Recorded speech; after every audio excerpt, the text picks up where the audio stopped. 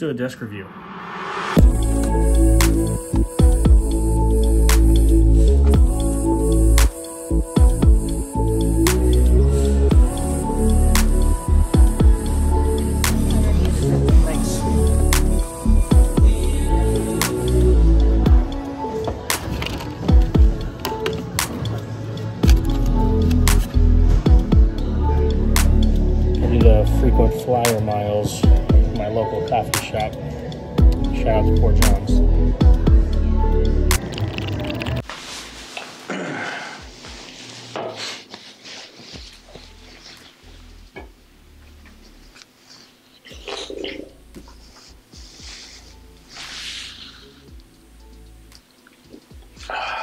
Cheers. What's up guys, it's Alex. I'm back. Haven't done a video in a long while, but I have some cool stuff to show you. Uh, got a new job, doing a whole bunch of different stuff. Man, it's been like an actual year, maybe, maybe not. When was my last video?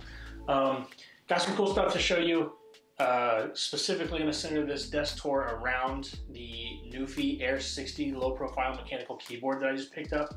Uh, it's my first mechanical keyboard. I have some thoughts about it. It's pretty cool. There's not a ton of videos that are actually hitting YouTube just yet. I mean, there's a handful if you search for it, but um, just thought I would show my experience, uh, the cool things that happened, and then the not so cool things that I know happened to me, and then also to some other people that are getting the keyboard right now. So stay tuned. I'm going to give you a desk tour, but also kind of center it around this keyboard, and uh, yeah, we'll go from there.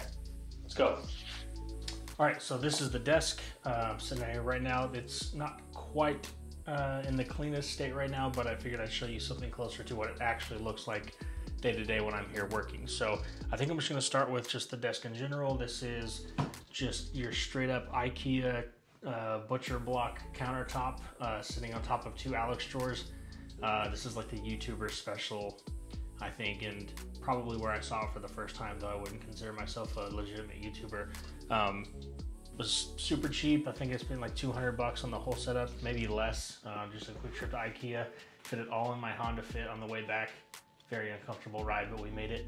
And uh, it's nice and simple, looks good, pretty sturdy, and uh, it kind of doubles as a podcast setup for when we do the Two Man Comic Book Club podcast. Link in the description if you want to hear what that's about. Let's start next with the desk mat. So just picked this up not too long ago and um, the very first day after I got it, my cat threw up on it. So that was a lot of fun to clean up. Anyway, um, this is a simple one. They make a wide variety of these things online. You can find them on Amazon though for pretty cheap. Grovemade has some really nice ones, but I wasn't quite ready to pull the trigger on that one because again, my cat might throw up on it. So this one looks super nice, adds a nice contrast to the desk, and uh, overall I'm pretty happy with it. Okay, so next, the star of the show, and the main reason I wanted to make this video is the new keyboard that I just got. So this is the NuPhy Air 60 low profile mechanical keyboard and the 60%. Uh, I did buy the extra keys that came on it. It was like a, if you bought them early, they were like I don't know, 50% off or something like that. If you want to like see the specs of this or like hear typing test, I might like throw one up on here in a second. But the main thing I wanted to talk about is just my experience with it. I am nowhere near a uh, like a mechanical keyboard snob. I this is my first one I've ever bought. Definitely appreciate the art form, but it's something that if I go down the rabbit hole too quickly, I could definitely find myself in another hobby that I definitely don't need to be in. So figured this was a good middle ground to jump into and uh, just get a feel for it.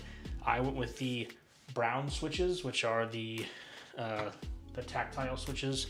Um, they give just a little bit of a feel whenever you're typing, opposed to the linear switches, which is like kind a continuous actuation of the key. It sounds really good. It feels nice to type on. Um, overall, I'm pretty happy with it. I have seen varying reports when it goes to this keyboard. Like some people have had varying uh, success with getting it shipped to them or having really long wait times, and I've even seen some that arrived pretty banged up and even like severely bent. Um, I actually did have problems myself when I got the keyboard. It came with the red switches, which is not what I ordered. Again, I ordered the brown switches. So I got on, sent them an email, and they pretty quickly got me some replacement switches and I was able to go out there and they didn't charge me for them. So that was cool. All things considered, there was not like a, a language barrier or anything like that. And they were able to get back to me. But again, I have heard some uh, customer service issues with them, depending on what your problem was. So just wanted to point that out there just for complete transparency. But my experience, other than the switches being the incorrect ones whenever I received them, they replaced them for free, and I'm um, really happy with the typing experience. Uh, if you don't know about Monkey Type, get on there, check it out. I'm gonna do just one cold run. I promise I'm not taking multiple takes of this. As many times as I mess up, it'll be the thing. Um, but here you go. Check this out.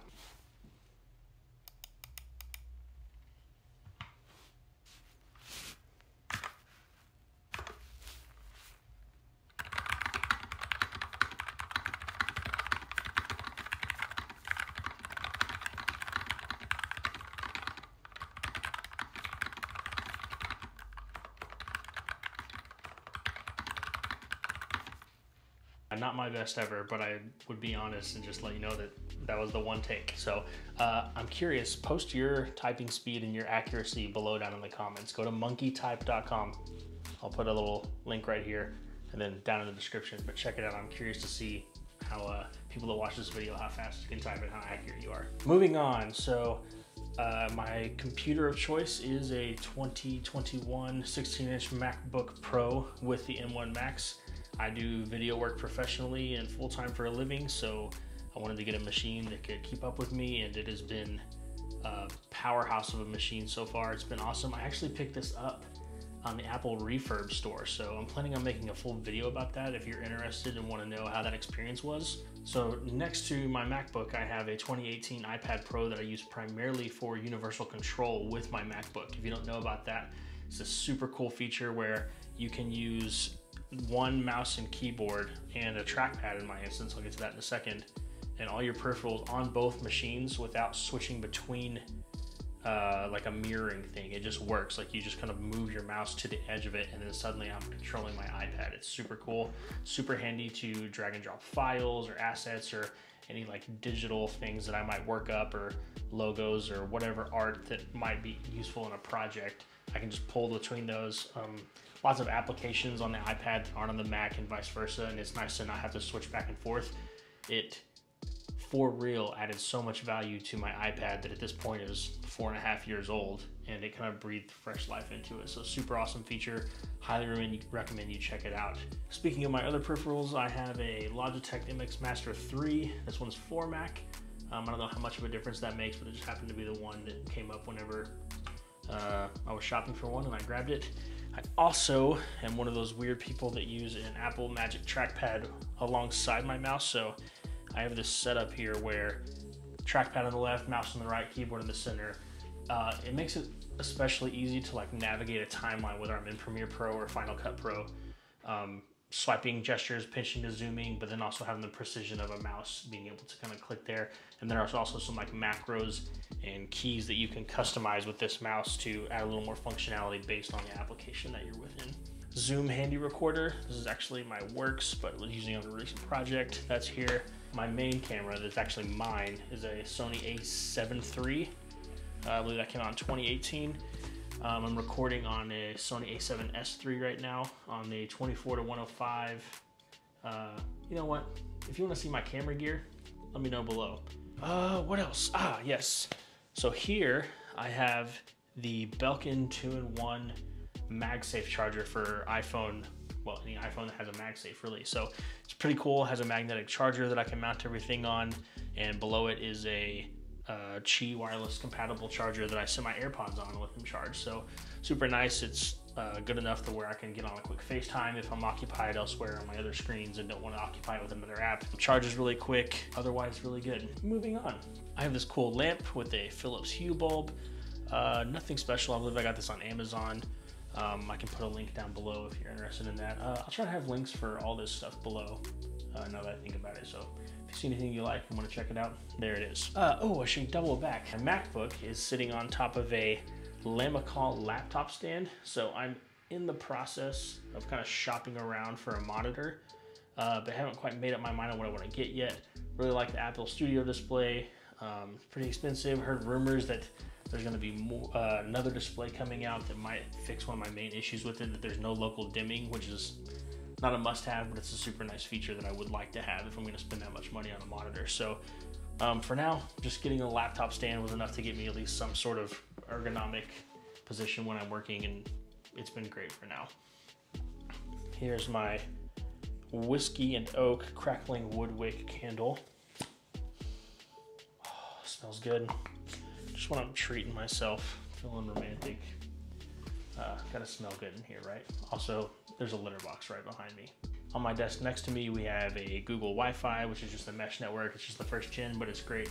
Uh, this office got the weakest connection in the house when we first got here, and this definitely fixed that problem. Um, and then the Philips Hue Hub is right next to it. And also, I switch out my little uh, Funko Pops. Right now we have Herbie from the Fantastic Four. You're a real Marvel fan if you know who that is. Um, other odds and ends here. Blue light glasses, super useful. Here is a, oh, that's more camera gear. We'll talk about that. Let me know if you want to see a camera video. Got lots of camera gear. Uh, more camera gear. Uh, this is one of those weird things. I need to invest in a Thunderbolt dock because right now I've got this ridiculous setup of MagSafe into the Mac, uh, 2.4 gigahertz receiver for my mechanical keyboard, and two uh, SanDisk SSDs hanging out that look like bunny ears out of the side of my Mac, and it looks kind of ridiculous. Otherwise, on my desk, I usually have some comic books I've been reading. I've got this cool DC encyclopedia. Been a Marvel guy my whole life, so I'm trying to get a little more well versed with the DC characters. Um, chair, nothing special. Um, my in-laws let me borrow this. I don't even think I actually own this, but they haven't asked for it back yet. So uh, definitely in the market for a good chair eventually. This one sinks under the weight of myself. But it does the job for now. Yeah, I think that's it. What was your favorite thing on here? What does your desk setup look like? Is it messier than mine? Is it cleaner than mine? Is yours better than mine? Uh, I'm truly curious. Post down below if you have links, if you've posted your own.